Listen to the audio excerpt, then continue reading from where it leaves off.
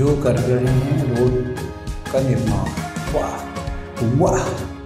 Road का कर रहे हैं निर्माण इनको लगा कि दो करोड़ लगेगा। सात परसेंट काम भी कंप्लीट कर लेकिन तो लगेगा। तो बोले कि मेरा लॉस हो? गया तो हम बोले वो क्या करेगा मंगी तो उसने बोला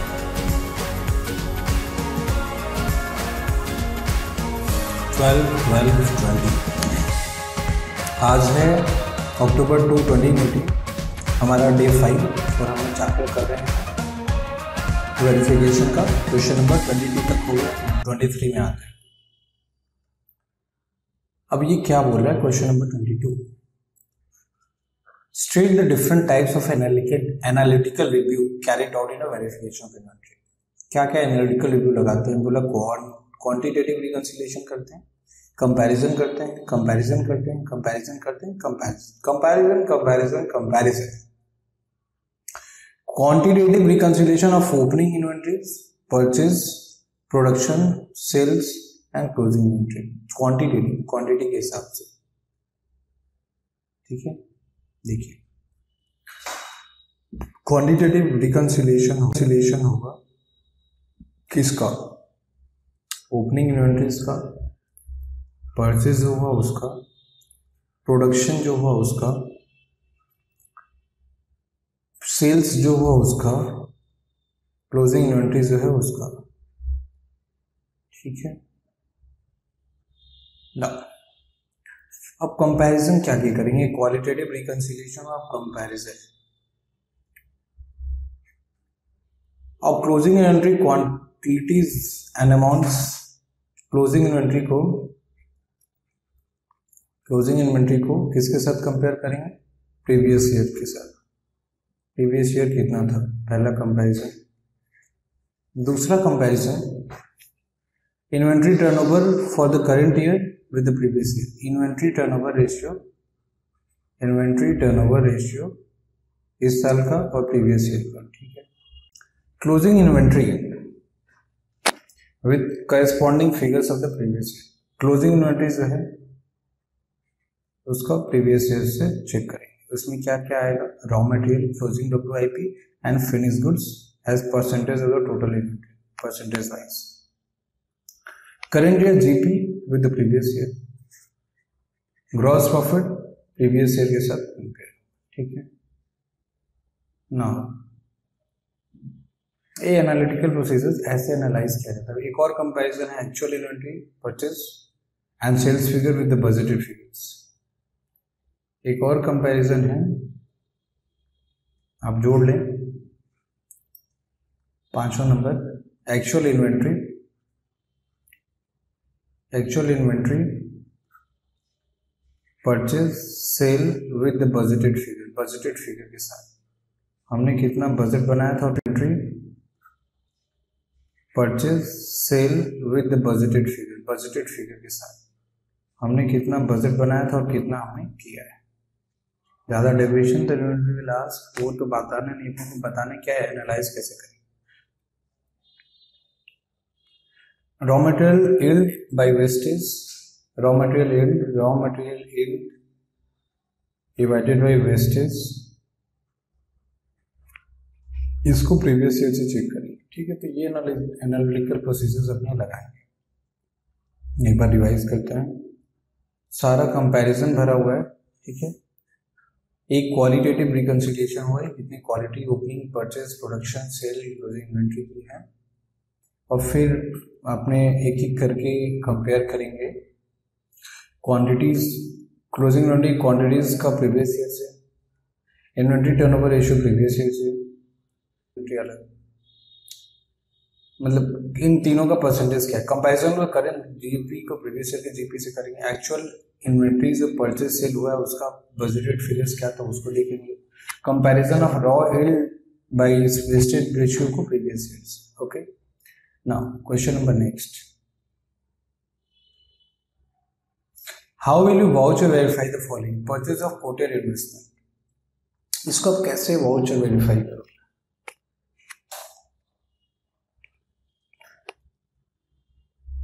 असर्टेन करेंगे कंपेयर करेंगे वेरीफाई करेंगे trust obtain verify confirm verify बहुत बार वेरीफाई है, एक बार वेरीफाई दो बार वेरीफाई तीन बार वेरीफाई अब असर्टेन क्या करेंगे? Date of purchase rate of purchase nature of investment and the nature of the transaction that is error cum dividend and interest मतलब उसके साथ purchase rate of the investment purchase and nature of the transaction ये सारा ascertain करें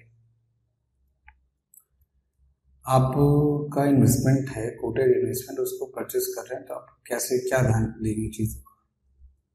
मैंने पूछा, किन किन चीज़ों का ध्यान देंगे? आपने बोला, देखिए, पहली बात तो हम असर्टेन करेंगे क्या क्या date of purchase rate of purchase nature of investment nature of transaction ठीक है? बोले ठीक है। बोले, फिर? बोले, फिर कंपेयर करेंगे rate of purchase with quotation available rate of purchase जिस रेट पे खरीद रहे हैं, उसकी कोटेशन को और भी कोटेशन जो अवेलेबल है, ऊपर नीचे तो नहीं है। अगर है डेविएशन तो उनसे मांगेंगे रीजन फॉर डेविएशन या फिर उनका क्या रीजन है? Verify the amount paid to reason for deviation या फिर उनका क्या रीजन है? Verify the amount paid towards the purchase of investment जो अमाउंट पेड हुआ है उस अमाउंट को एनालाइज करेंगे अमाउंट पेड ठीक है? Trace the amount in the cheque book counter file with the bank statement bank statement से चेक कर लेंगे। Obtain a schedule of investment from the management for physical verification the year end जो भी investment हमारे books में आएगा, उसके एक शेड्यूल ले लेंगे उसको फ़िज़िकल वेरिफिकेशन के लिए। Verify the investment certificate to confirm title investment certificate को वेरीफाई करें, ठीक है? इन्वेस्टमेंट सर्टिफिकेट को वेरीफाई करें, ठीक है? Confirm compliance with statutory provision statutory provision का कंप्लायंस चेक करेंगे। वेरीफाई करेंगे whether investment are duly disclosed in the financial statement in accordance with the recognized accounting policies and practices relevant to the statutory requirement. In accordance with the recognized accounting policies and practices relevant to the statutory requirement. तो अगर देखा जाए तो कहानी में कुछ ज़्यादा है नहीं परचेज कर रहे हो ना तो पहली बात तो डेट रेट नेचर और nature of investment nature of transaction ये सारी चीज़ों का ध्यान रख लें ठीक है ये जो सारी चीज़ें उनका ध्यान रखिएगा। कंपेयर कर लीजिए, जो परचेज का इनका प्राइस है और कोटेशन के रेट ऑफ़ परचेज क्या और कोटेशन क्या अवेलेबल अगर और उसके नीचे अवेलेबल है तो इन्होंने वो क्यों नहीं लिया उनसे रीज़न पूछ लो। और जो अमाउंट पेड हुआ है परचेज को, उसको वेरीफाई कर लो, उसको तुरंत बैंक स्टेटमेंट से वेरीफाई कर लो। ठीक है ट्रेस कर लो बैंक स्टेटमेंट से वेरीफाई उसको कर ऑप्टेन शेड्यूल क्या क्या इन्वेस्टमेंट है उनके पास, उसका शेड्यूल ऑप्टेन कर लो फ़िज़िकल वेरिफिकेशन के लिए। Verify the investment certificate to confirm title verify कर लो investment certificate to confirm title title को कंफर्म करने के लिए कंफर्म कंप्लायंस फॉलो हुआ है कि नहीं प्रॉपर डिस्क्लोजर वो भी चेक कर लो ठीक है तो आपका परचेज हो गया बधाई now question number B discounted bill receivable dishonour discounted bill receivable था लेकिन वो डिस्काउंट डिस डी पहले भी लगा तो बाद में भी डी लग गया डिसऑनर्ड डिस्काउंटेड पहले ही से ऑप्टेन करेंगे चेक करेंगे वेरीफाई करेंगे सी करेंगे। ऑप्टेन क्या करेंगे? Schedule of the discounted bill receivable dishonoured क्या क्या बिल डिसऑनर्ड हुए हैं? उसका schedule check the entry in the bank statement regarding the amount of the bill dishonoured and see the bank has debited the account of the client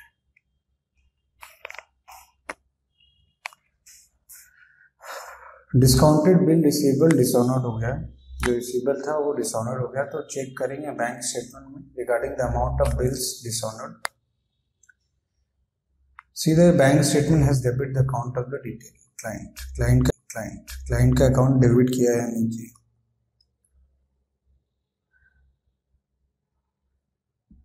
जो भी मैंने bill भेजा है डिस्काउंटेड बिल जो dishonoured हो गया बैंक ने मुझे फिर से वापस भेज दिया तो उसको हम देखेंगे क्या रीजन के साथ भेजा है।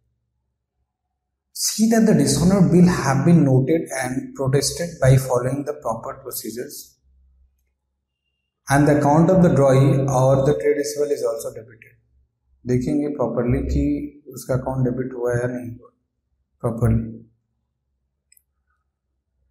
अच्छे से नोट किया गया और अच्छे से check the bank commission if any rechargeable by the bank and has been recovered from the party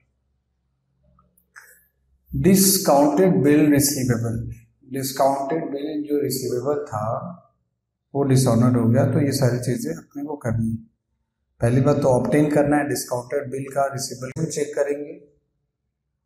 The amount of bill dishonoured किस अमाउंट से डिसऑनर्ड हुआ है, और क्या अमाउंट उतना अमाउंट क्रेडिट हुआ है कि नहीं bank has debited the account of the client client के अकाउंट को उतना से डेबिट किया हुआ है कि नहीं? मेरे अकाउंट को डेबिट किया हुआ मतलब पैसा मेरा चला गया कि मैंने बिल की बात बोला बिल दे रहे हैं तो इससे काम चला रहा हूँ, लेकिन वो डिसऑनर हो गया तो मेरे बैंक से पैसा कट जाएगा ना। Verify the bills receivable return by the bank along with bank advice अब बिल रिसीबल जो मैंने दिया था, उसको उन्होंने क्या कर दिया? मेरे को रिटर्न कर दिया बैंक एडवाइस की भैया क्यों नहीं मिल पाया पैसे? ठीक है?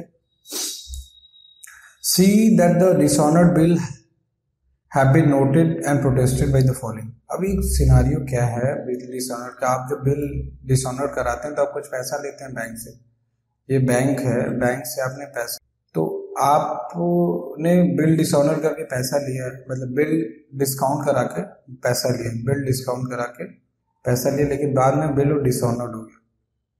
तो बैंक वाले ने क्या किया? आपके अकाउंट से पैसा डिडक्ट कर लिया डेबिट कर दिया आपका अकाउंट वही केस है डिसऑनर का ठीक है? तो इस केसेस में ये चीज़ें होंगी। है कि नहीं? ये इसको क्या हो जाता है फिर वही हालत। रात में परेशान किया था। Amount due to subsidiary account companies अच्छा इसका भाई क्या करना है अपने को?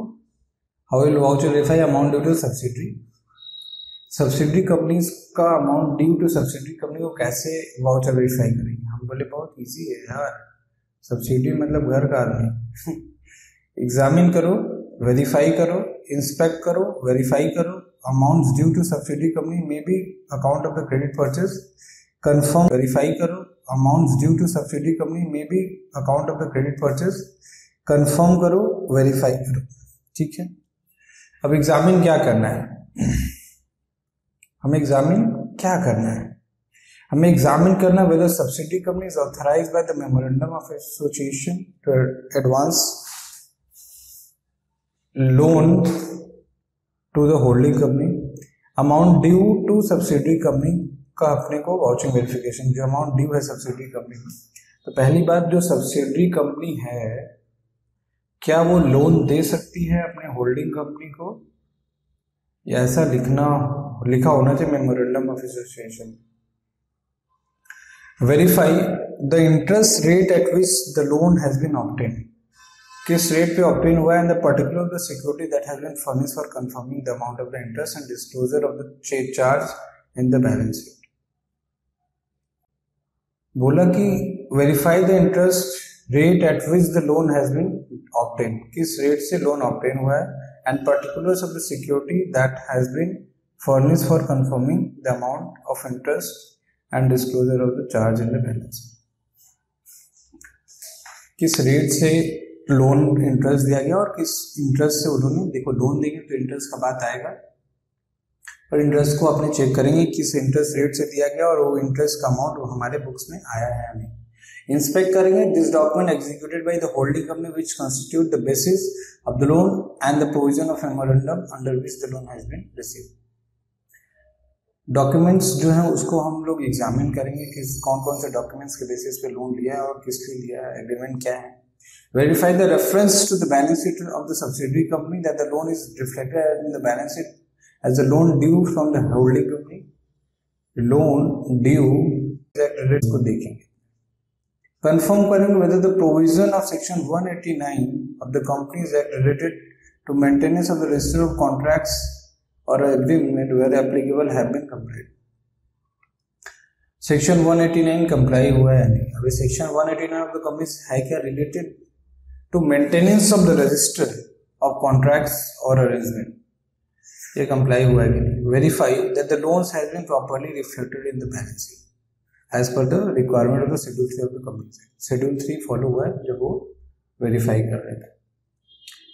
तो समझ में आया? एग्जामिन करना है वेरीफाई एग्जामिन कर लो। कि जो सब्सिडी लोन दे रही है, वो मेमोरेंडम ऑफ़ एसोसिएशन में उसके मेंशन है।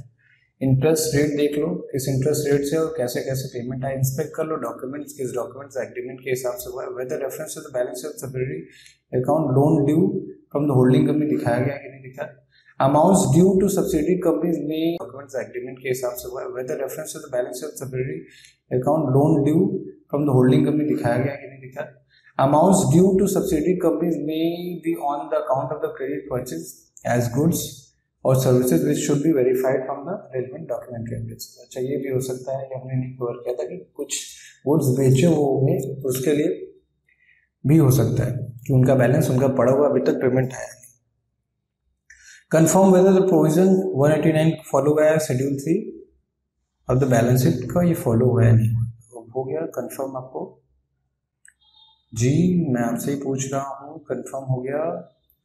शुक्रिया तो बोलिए। हमारी क्या बात है जी?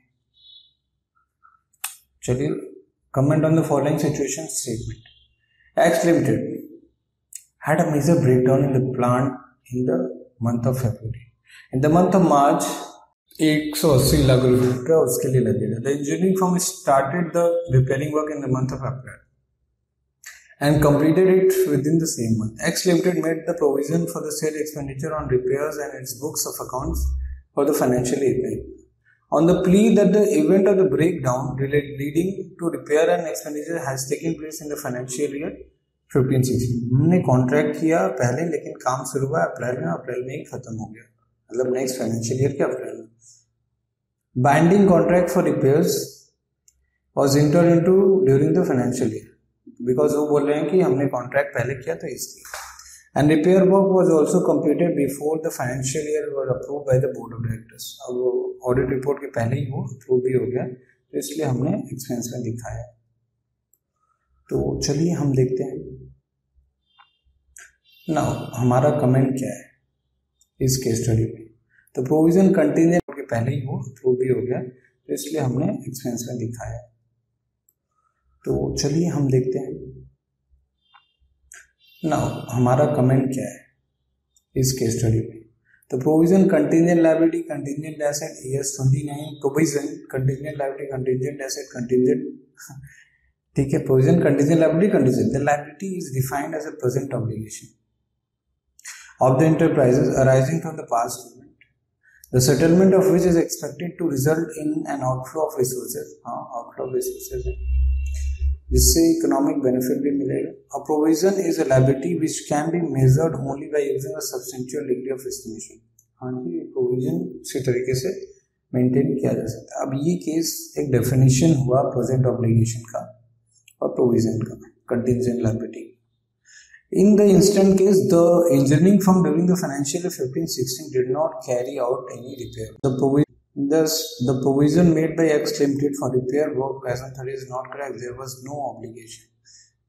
Past event से कुछ arise ही नहीं हो A liability is defined as a present obligation. A present obligation है of the enterprises arising from the past event. अगर past event से कुछ arise हो रहा है तो हमारा डिफेंस ये है कि देर वॉज़ नो ऑब्लिगेशन हमारे ऊपर कोई ऑब्लिगेशन नहीं है. Thus the provision made by extended for the repair of the work is not correct and there is no obligation because कोई ऑब्लिगेशन नहीं है.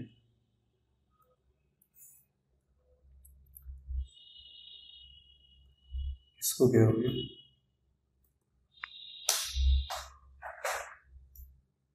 चला गया. अब सोचो अगर ये अगर चला जाता है, मेरा सारा मेहनत चला जाए wait for the program to respond. ध्यान से देखिएगा स्क्रीन को। कभी भी कुछ भी हो सकता है। और कुछ लोग एडवाइस भी कर रहे होंगे। टास्क मैनेजर खोल के बंद कर दो नॉट रिस्पॉन्डिंग पोजिशन में। कुछ लोग ये भी बोले ऑल टाइम मार के दोस्त टाइम में जाओ, फिर आओ, देखो हो जाएगा। चलिए, कुछ करते हैं हम भी। कहा गया? एक काम करते हैं, हम भी कुछ करते हैं, दिमाग लगाते हैं।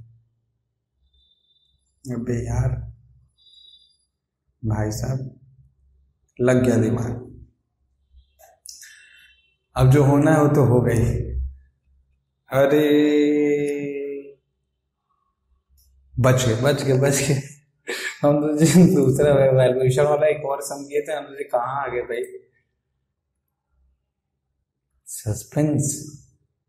बाबा। तो इनका हो गया कि भैया कोई ऑब्लिगेशन नहीं है, आप कुछ the management tells you that the V I P is not valued since it is difficult to know the same in view of multiple process involve and is and in any case opening and closing W I would be more और less then same more और less same रहेगा, इसीलिए valuation of entry नहीं हुआ। तो कर लो यार वैल्यूएशन ऑफ़ यूनिटी तो करना ही। कैसे वैल्यूएशन होता है खुला रे भाई valuation of inventory es2 valuation of inventory deals with the principles and method for determining the value at which inventory should be carried in the financial statement thus items hold in the process of production is included in the definition of inventory work in progress is normally valued by taking the basic cost of material labor and proportionate factory overhead incurred up to the stage of completion. In view of the closing WIP is more or less is not tenable as the cost of material. क्या पढ़ रहा है रे भाई तो इसको summarise कर बच्चों को समझा normally valued at the basic cost of material basic cost of material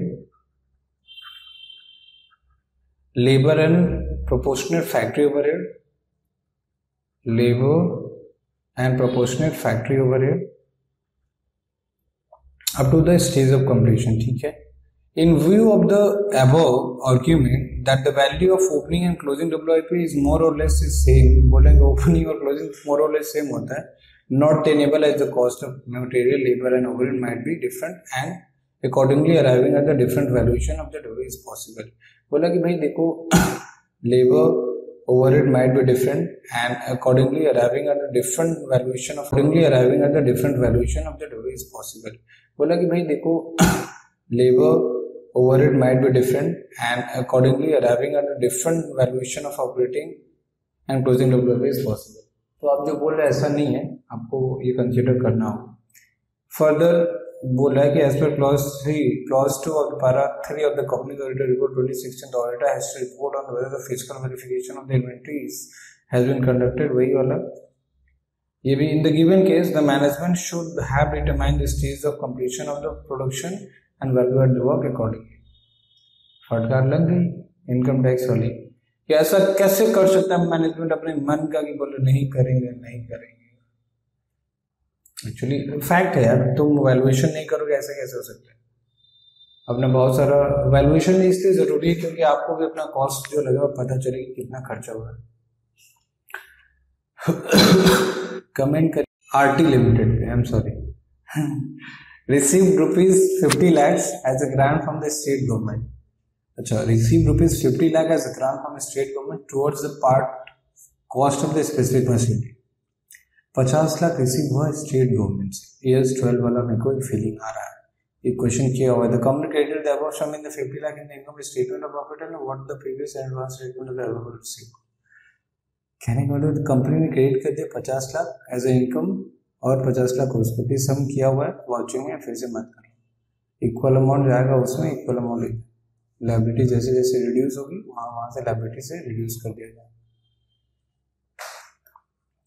Write a short note on first in first out costing पढ़ने का मन कर रहा है। hmm. बहुत दिन हो गया इसको ना first in first out method it is a cost formula use in assessing the cost of मज़ेदार कॉन्सेप्ट है विच आर ऑर्डिनरली था नहीं भी है।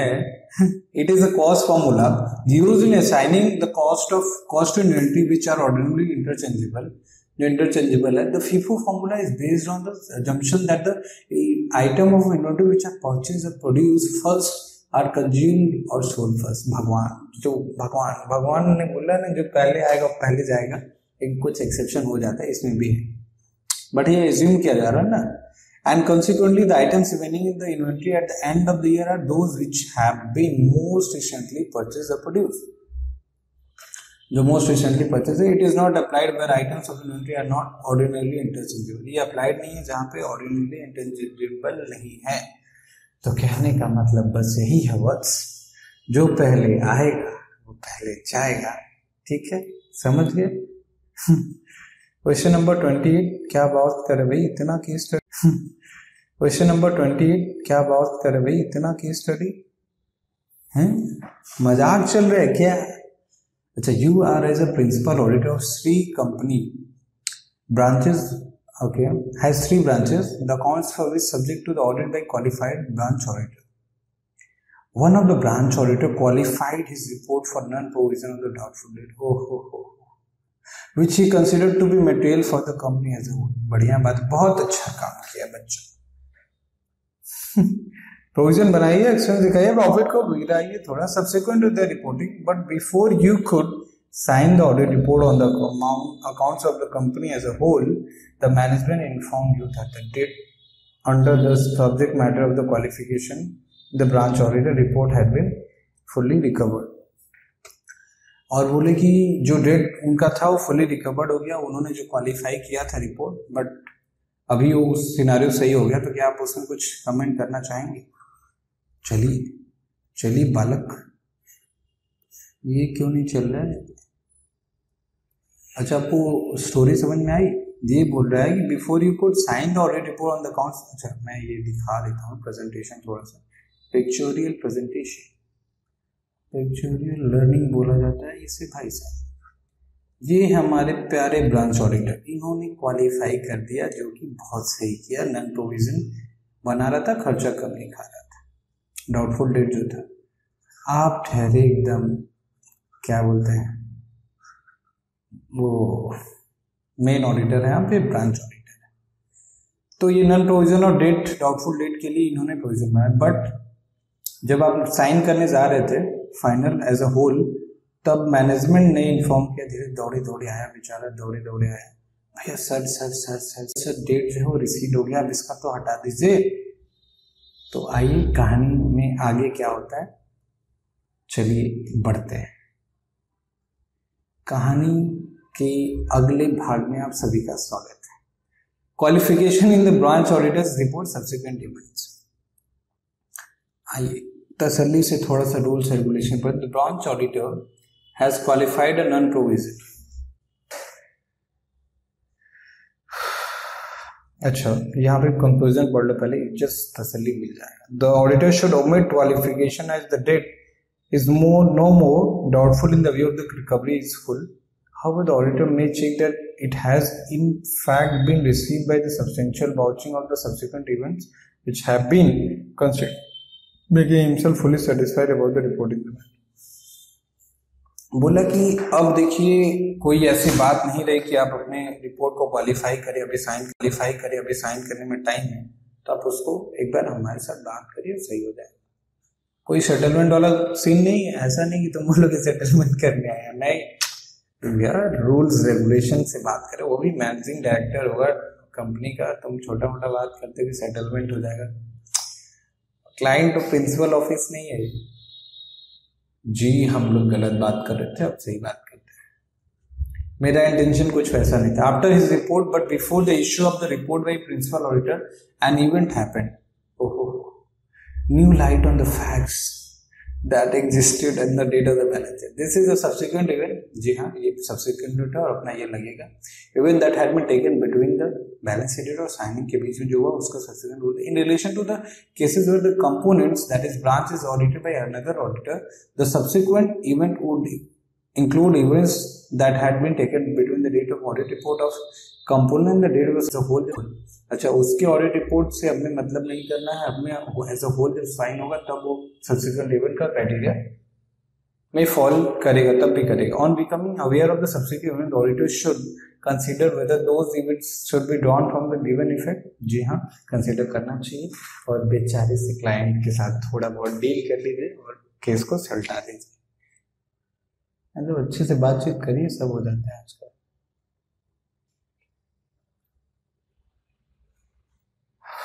नहीं जेनुइन केस अगर ऐसा होता है तो हो भी जाना चाहिए।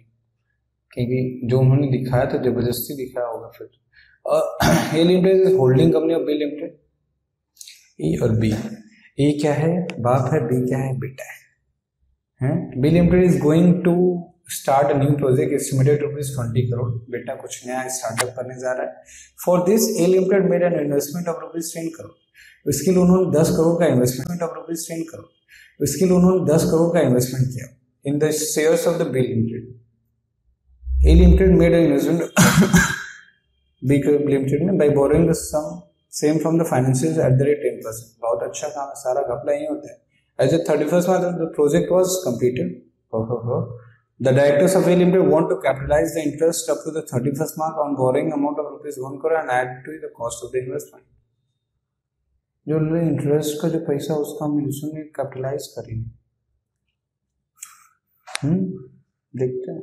इंटरेस्टिंग केस है capitalization of interest on borrowing cost borrowing cost is sixteen three the borrowing cost that are directly attributable to the acquisition construction or production of a qualifying asset should be capitalize is part of the cost of the qualifying asset is an asset that necessary takes a substantial period of time to get ready for it intended up to say intended in the given case interest of rupees 1 crore should not be capitalized because as per 16 investment of rupees 10 crore in the shares of B limited is not a qualifying asset आपने पैसा invest किया ओ my god what a man what question ना हमने पैसे को invest किया है ना कि हमने को पैसे को लगा के कोई प्लांट और बोरिंग करते हैं although that is your subsidiary that is your subsidy वो अलग बात only borrowing cost incurred up to the acquisition is allowed to be capitalized would be nil in the case of investment which would be nil in the case of investment only borrowing cost incurred up to the uh, acquisition is allowed borrowing cost जो incurred हुआ acquisition तक का वही allowed होगा capitalise करने के लिए which would be near in the case of the investment अगर ये एसेट रहता तो ठीक है इन्वेस्टमेंट केस में नहीं borrowing therefore the intention of the company is wrong गलत इंटेंशन धारी व्यक्ति है as an auditor it should be brought to the knowledge of the management and interest of rupees one रहता तो ठीक है इन्वेस्टमेंट में नहीं borrowing therefore the intention of the company is wrong गलत इंटेंशन धारी व्यक्ति है As an auditor, it should be bought to the knowledge of the management and the interest of rupees 1 crore should be shown as an expenditure in this statement of the profit आप खुद ही नाचे हो हो हो हो अब ये सोच रहे बेटी को ही लोन दिला दी होती वो काम कर लिया होता। हाँ? मैंने तो इन्वेस्टमेंट किया था ना उसमें। वही बात है। उसको नहीं मिला होगा, उसका ऑडिट फॉडिट नहीं हुआ A contracted, a contractor entered into a contract for building. Roads बन रहे हैं मोदी जी के राज बड़ी तेज़ी से नितिन गडकरी जी रोड बना रहे हैं। For building roads of rupees after completing 60% of the contract, he came to know that the cost of completing the contract would be 2.4 crores. देखिए कहानी में ट्विस्ट दो करोड़ की जगह two point four completing contract would two point four zero बोला कि two point four zero होगा sixty percent the accountant transfer zero point two four crore that is sixty percent the total loss of the अब बोला कि भैया देखो मेरा loss हो गया, और उसका लॉस का सिक्सटी परसेंट हमने काम कर लिया है तो सिक्सटी परसेंट मैं लॉस बुक करूँगा। आपको कोई आपत्ति आपको मैं केस स्टडी समझाता हूँ। चलिए, ये है मंगीलाल, जो कर रहे हैं रोड का निर्माण। वाह वाह, रोड का कर रहे हैं निर्माण, ये है मंगे लाल इनको लगा कि दो करोड़ लगेगा। साठ परसेंट काम भी कंप्लीट कर ली लेकिन रात को एक सपना आया कि टू पॉइंट फोर लगेगा। तो बोले तो मेरा लॉस हो गया पॉइंट फोर का। तो हम बोले तो क्या करेगा मंगी? तो उसने बोला, मैं लॉस बुक करूँगा। तब तक, ओहो, आप आ गए। और इधर बोला, इधर आओ हो गया पॉइंट फोर का। तो हम बोले तो क्या करेगा मंगी? तो उसने बोला, मैं लॉस बुक करूँगा। तब तक, ओहो, आप आ गए। और इधर बोला, इधर आओ, बेटा। Now let's know the what will happen क्या वो अपने लॉस में दिखाएँगे या नहीं दिखाएँगे? Let's move recognition of contract revenue and contract revenue and expenditure as per S S seven construction contract when it is provable that the total contract cost will exceed total contract revenue खर्चा ज़्यादा हो जाएगा I mean खर्चे ज़्यादा हो जाएँगे income से तो the expected loss should be recognize as an expense immediately irrespective of the stage of condition वाह, क्या बनाया वाह, ये भी बोला कि जा बेटा, तुम बिज़ी ले अपनी। Two point four zero crore should be recognize as an expense immediately irrespective of the stage therefore the action of accountant of zero point two crore of the plan is wrong he must transfer whole zero point two crore as an expense ठीक है? ये तो और दिलदार निकला ना। बोला कि तुमको पता चल गया कि लॉस कितना है? पूरा बुक करो। इरेस्पेक्टिव ऑफ़ द कंडीशन अब आए भाई साहब ए सेवन बोले कि पूरा लॉस बुक करो। पूरा का पूरा लॉस बुक करो। जैसे तुमको पता चल गया कि लॉस होने वाला है, पूरा लॉस को लॉस बुक कर दो एज एन एक्सपेंस बुक कर दो। खेल खत्म, खुश? हाँ। Auditor must advise the accountant to rectify the seven and face solution बढ़िया है, बहुत बढ़िया है। उसने क्या बोले एक फिर से मतलब मज़ा आ गया ना। क्या as per S S construction contract इस तो ज़िंदगी भर याद आएगा आपको। मतलब इतना ज़बरदस्त केस स्टडी है। Prior period item now next finish goods costing rupees अच्छा इनको आप देखना चाहेंगे, आप कितने खुश हो रहे हो। हो हो हो। तो बोले इतना नहीं अभी तो पूरा ही लॉस हो गया पूरा ही एक्सपेंस बुक हो गया भैया एक्सपेंस बुक करेंगे टैक्स कम आएगा ना बेचारा वैसे ही लगा पड़ा है तुम और टैक्स दिलाने के चक्कर में बोले क्यों बुक कर रहा है बोला finish goods costing rupees ten lakhs were damaged due to flood. These goods were included in the closing inventory as on 31st March as a, at an estimated realizable value of rupees 4 दस लाख के asset को flood ने मार डाला। लेकिन estimated चार लाख का value रखा हुआ। These goods ultimately could be sold for three lakh only in the count of fifty सात लाख का लॉस हो गया। सेवेंटी परसेंट आप समझते हैं सेवेंटी परसेंट मार्क्स डालने वाला एटी परसेंट आप समझते हैं सेवेंटी परसेंट मार्क्स डालने वाला ए आई आर वन ला देता है। The difference of one lakh was debited to the prior period expenditure in the accounting year अब एक लाख को डेबिट कर दिया उन्होंने prior period expenditure in the accounting year of अच्छा देखते हैं इस केस में क्या होता मज़ेदार मज़ेदार केस स्टडी बनाता है इंस्टीट्यूट एकदम दिल में आग लग जाता है। Prior period item as पर ES 5 net profit or loss for the period prior period items and changes in accounting policies prior period items are income or expenses which arise in the current period as a result of the error or omission in the preparation of the financial statement of one or more period अब इधर पढ़ लेंगे ना so thus the difference of rupees 1 lakh debited in the prior period expenditure in accounting year 2000 is a wrong accounting treatment. In the instant case, there is no error or wrong accounting treatment. In the instant case, there is no error or omission in the prior period. It is the case of accounting estimate which has been changed. अच्छा ये estimate का केस है। कोई भी गलती पिछली बार नहीं बिकॉज़ एस्टिमेट किया गया था ना। Prior period item should be distinguish from the changes in accounting estimate ये अकाउंटिंग एस्टिमेट का केस था। इन्होंने एस्टिमेट किया था कि वो दस लाख की जगह चार लाख का वैल्यू हो गया लेकिन वो चार लाख की जगह तीन लाख अब प्रायर पीरियड आइटम क्या होता है? Are income or expenses which arise in the current period इस साल अराइज हुए हैं ठीक है? As a result of error or omission कोई गलती या भूल हो गई हो preparation of financial statement one or more prior period पिछले एक दो सालों में आपसे जो भी गलती हो गई हो या मिस्टेक हो या भूल चूक हो गई, उसके लिए ठीक है? ना।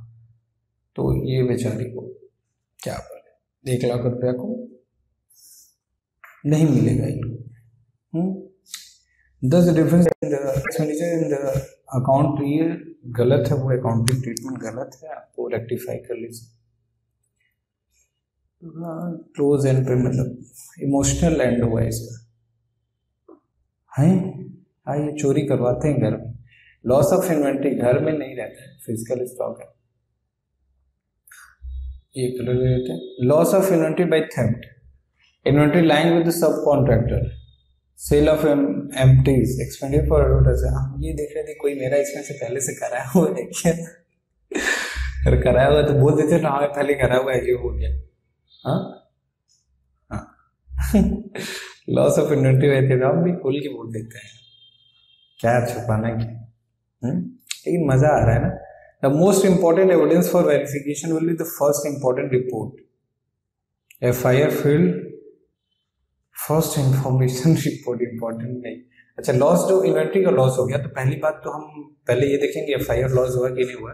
The content of the F I R will be cross check जो उन्होंने कंटेंट एफ़ आई आर क्या है? कि इन्फॉर्मेशन रिपोर्ट होता है कि मेरे साथ ऐसा ऐसा हुआ है। हुआ है। सावधान इंडिया वाला नहीं, ठीक है? हाँ सारा कुछ स्क्रिप्टेड रहता है कभी कभी मतलब स्टोरी में भी मोर और लेस अपने को क्या कमेंट करना सब सही है। If no F I is lost मैं पहले फिर से दे देता हूँ कि मेरा कोई वैसा इंटेंशन नहीं था। झूठ मूठ का। If no F I R is loss अगर कोई एफ़ आई आर लॉस नहीं then deeper analysis will be record including satisfaction of the reason for not filing F I अरे भैया, तुम एफ़ आई आर जाके करो ना यार। नहीं तो हमको इन्वेस्टिगेटर बनना पड़ेगा। तो फिर हम अच्छे से एनालाइज करेंगे और उनसे बोलेंगे कि क्यों रीजन क्या था मतलब क्या इज़्ज़त की बात थी कि चोरी कर लेगा, ये हो जाएगा, क्या रीजन था? सेटिस्फैक्ट्री रीजन बताइए, हम कुछ बोलेंगे नहीं। लेकिन अच्छा आप तो बड़े ईमानदार आदमी हैं, बोला हाँ द हाँ तो एफ़ आई आर लॉस नहीं हुआ तो उससे हम एनालाइज डीपली करेंगे ऐसे। The quality the quantity and the value of the stolen inventory is not included in the closing inventory will be insure the quality and the value of the stolen inventory is not included in the closing notice will be insure जो included नहीं था verify whether such inventory was insured और whether theft claim has been loss verify कर लो कि चोरी हुई है तो क्लेम कर लो। Now inventory language is sub contractor of application तो inventory language is sub contract for processing should be confirm by the confirmation letter confirmation लिख ले लो the necessary of holding inventory by them should be vouched क्या ज़रूरत था कि अपने सब contractor के पास आपने स्टॉक रखा या फिर इन्वेंट्री रखी। The inventory should be valued at cost and RB बिल्कुल। The inventory should be disclose in the head current asset under the head of the inventory adjustment in the account should be made for the discrepancy अगर कोई discrepancy पाएँगे। हाँ, ये easy है। आप inventory का जैसे किए ना, वैसे ही। नाउ सेल ऑफ़ एमटीज पहली बार नाम नहीं सुने एम्प्टी ये क्या होता है? अच्छा कुछ कुछ ऐसा ऐसा चीज़ आता है ना एसेट अब्रॉड एक आया एमटी ऐसा चीज़ आता है ना एसेट अब्रॉड एक आया एम टी एसेट अब्रॉड हम बोले, ये क्या है भाई? तो पता चला अब्रॉड में जो एसेट है वही. When the empties or containers in or containers sale of containers. in which goods necessarily, necessarily have to be supplied or are costly the manufacturer normally agrees to purchase them back at the reduced price as compared to one charge for them therefore check whether separate account of issue and receipt of the empties has been prepared अलग से account बना हो इन separate maintain account check check how many empties customer may return check whether proper provision has been made check the amount see the sold empties if the empties are sold अरे भैया Coca Cola समझ रहे हैं? पिया घटक लिया Sprite clear है, पी के उसका वो एम्प्टीज रख देते हैं अपने। वही केस है। Separate account of issue and entry because यहाँ पे दिया जाएगा, फिर वहाँ से ले लिया जाएगा। इन सेपरेट में check how many empties lies in the warehouse and how many are with customer customer के साथ कितना है और मेरे साथ कितना है? मैंने एक एग्जांपल देखो, वो बोला, और भी बहुत सारी चीज़ों को ये लोग देते होंगे। मैं return after the close of the year किसने रिटर्न कर दिया? Check whether provision has been made against the contingency of the kernels being returned by customer and that of the wear and tear के लिए कोई contingency बनाया हुआ है insurance लिया हुआ वो चेक कर लो। Check the amount of the sale with the entry in the cash book उसको एम्प्टीज के साथ जितना एम्प्टी गया, उतना सेल भी बुक हुआ है कि नहीं। See the sold empties are reduce from the inventory inventory से रिड्यूस कर दिया गया है यानी if the empties are sold on credit ask for the direct confirmation for the purchase entry अगर डायरेक्ट सोल्ड किया गया इन्वेंट्री एम्प्टीज को तो उसके लिए अपने को कंफर्मेशन लेना होगा। तो separate account separate maintain account check check करेंगे चेक करेंगे चेक करेंगे सी करेंगे चेक क्या करेंगे? एमटीज कस्टमर करेंगे सी करेंगे चेक क्या करेंगे? एमटीज कस्टमर में रिटर्न कितना कस्टमर रिटर्न किया whether proper provision has been made proper provision बना हुआ था या नहीं? इंश्योरेंस वाले का केस था कि नहीं? Check the amount of the sale with entry in the cash book see the sold entries are reduce from the inventory and entries reduce so if the entries are sold on a credit as for the like confirmation from the purchasing the expenditure for advertisement in the newspaper आइए। बहुत coco cola के लिए। अब advertisement करिए wow is the copy of newspaper send by the news just किस news paper में advertisement छपी पहले न्यूज़ पेपर अपडेट करा और अपना भी एक क्रॉस चेक कर लो। अगर तुम्हारे घर में आता है टाइम्स ऑफ़ इंडिया तो देख लेना। उस दिन इन्होंने किया कि नहीं, अगर किसी एडिशन में किया तो ऑनलाइन चेक कर लेना। See the date of advertise which appear in the news should fall in the current account इस साल में होना चाहिए। Content of advertise should be verified to ascertain the advertisement was in the entity and was the business was not personal nature जो हम business के लिए advertisement हुआ हो इंश्योर द जो रेट चार्ज हुआ है with the offer received for the rates from the newspaper and ensure that the size and placement pays in accordance with the rate. देखो पेज मिलता है ना।